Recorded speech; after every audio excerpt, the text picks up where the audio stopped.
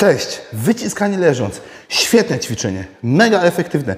Buduje i klatkę, i barki, i tricepsy przede wszystkim. Natomiast jest jeden błąd, bardzo kluczowy, który spowoduje to, że to ćwiczenie nie będziesz lubiał, ponieważ nie będzie dawać efektów. Mało tego, będzie kontuzjogenne.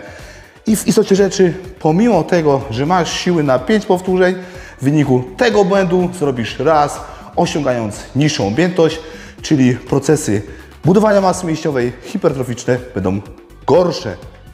O co chodzi? O jaki błąd chodzi? Już pokazuję. Pozycja wyjściowa. O co chodzi? W momencie, jak opuszczacie sztangę, w tym momencie tracicie świadomość, wielu z Was, i te łokcie Wam się cofają w kierunku barków. Macie niekorzystną dźwignię, to znaczy nadgarstek jest przed, bliżej brzucha niż łokcie, co w istocie rzeczy zmniejsza napięcie e, piersiowego, jak i może spowodować to, że niektórym ta sztanga może nawet wypaść, co staje się niebywale niebezpieczne.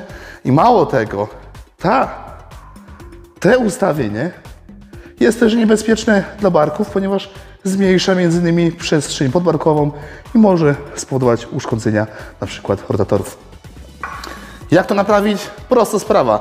Rób pauzę i korekcję. Pach. Opuszczasz. Korekcja. Pach. Albo jeszcze takie fajne ćwiczenie jak spotopress, to znaczy pauzę, centymetr przed i góra.